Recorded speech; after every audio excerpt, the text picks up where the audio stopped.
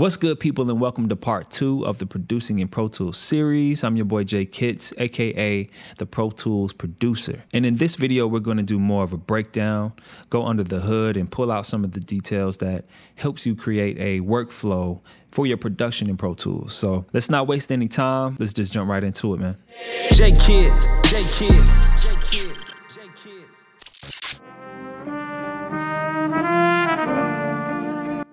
So in part one, I went over a few customizations and I didn't get to talk about the keyboard shortcuts. I wanted to save it for this video. So let's go to the menu and click setup, go to keyboard shortcuts. And here we can see pretty much every single shortcut there is that Pro Tools has to offer. And what you can do here is customize it to any hotkey you prefer. So for example, my personal hotkey for separating a clip is simply pressing E. And so when I turn this off and press E, it's nothing happening. Now the default command is Command E, just like that.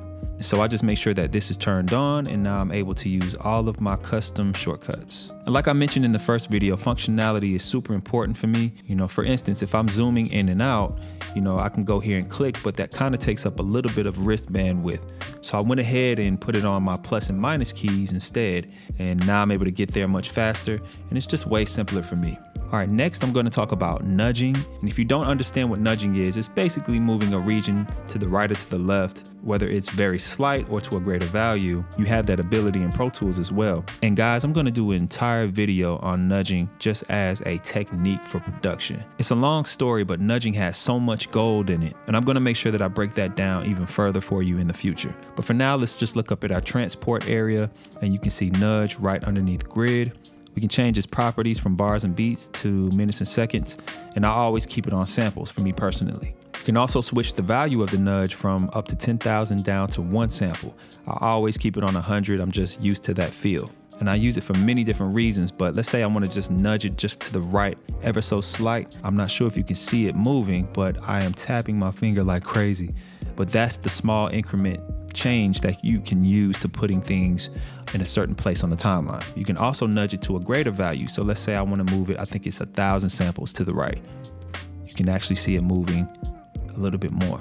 And that's just a better way for me to move around regions slightly instead of going to like slip and having to like literally move things to these increments. Nudging always does it for me. So next, I always have my tab, the transients on, this selection right here. What this does is it reads the next transient in a region, meaning it kind of detects the next sound.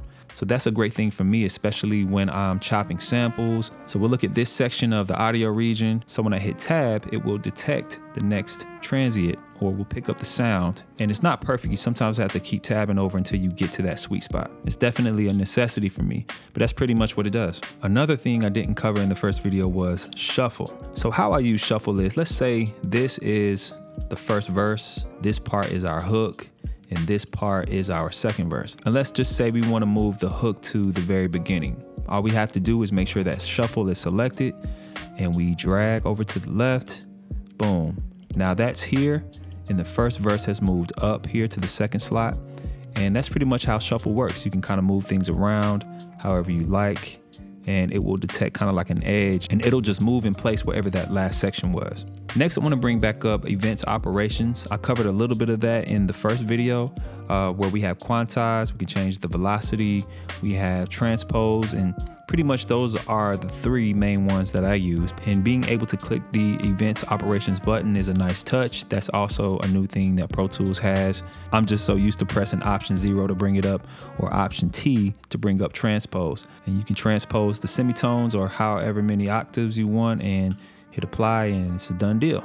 And how I change the velocity of MIDI, I just select this automation lanes button here and now I can see the velocity principles where I can move that up and down to whatever liking I need. Also in the automation lane section, you can see volume, mute, pan, even with your controllers too, with modulation wheel, sustain, expression, um, just so many different options, man.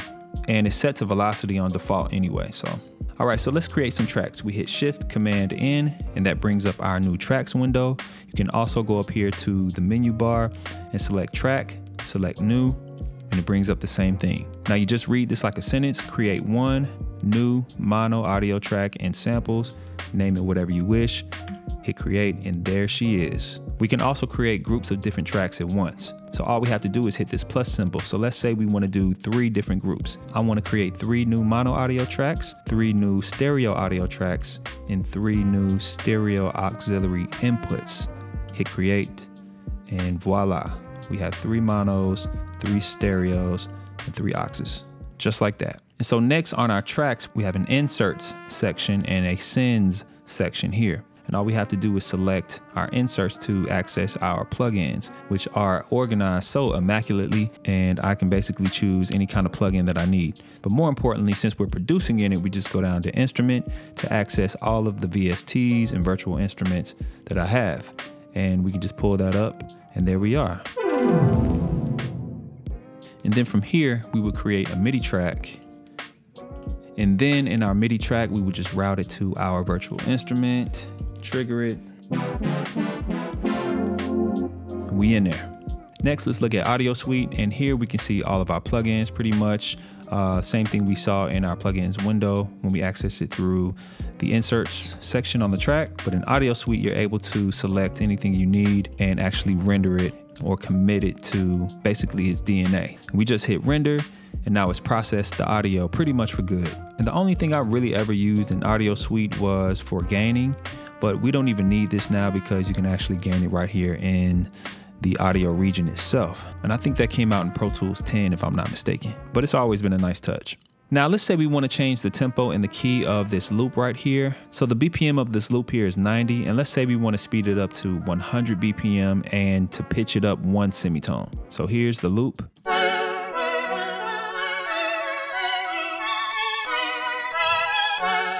Okay, so let's change the key and the tempo by first going to the track and selecting polyphonic here. Then we change this from samples to ticks. Then we go right up to our tempo and change that to 100 BPM. And now let's hear it sped up.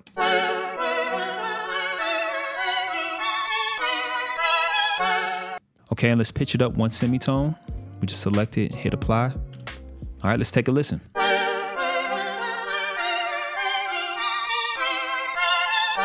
And that's easy does it.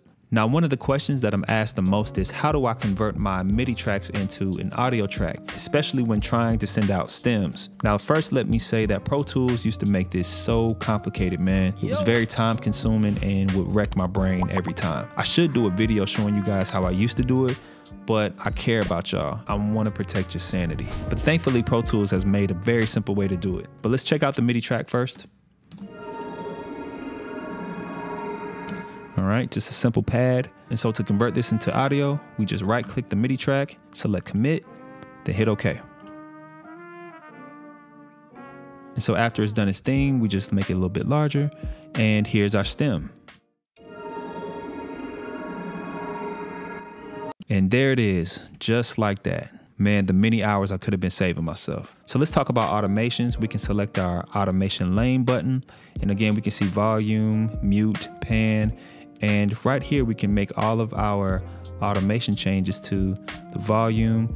Um, we can also draw it as a, you know, we can pencil it in here however we like. They have different pencil types where you can do like a line and it'll basically give you a nice straight line down. And we can also automate in real time while it's playing by either selecting write or latch. And I personally use latch because automation only turns on once I trigger it whereas write is a constant automation. So I'll show you guys real quick. And we're just gonna automate the volume on this track up here. And once we hit play, we're gonna see that writing starts. As you can see, it's already writing here. Then we can just move it up and down, like so. As opposed to using latch, we can do it just like this. You hit play, but we see that it's not actually writing any automation. But now once I trigger it, it starts. And that's just a cool feature that I always use. Easy peasy. And now the last thing I wanna show you guys is how I'm able to take audio and convert that into MIDI. And so here's the loop again.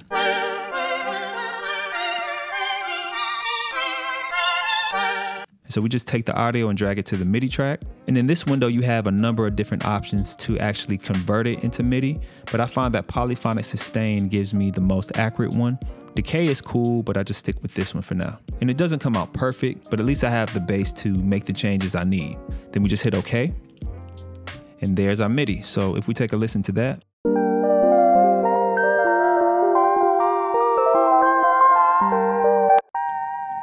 Definitely not perfect. but again, it's something that I can work with. And so there we have it. That's pretty much a breakdown of the essentials or all the essentials that I use when producing in Pro Tools. And I hope that this was helpful. Have any questions? Don't forget to leave it in the comments or email jkits.funonmonday at gmail.com to have your questions answered in future Q&A content.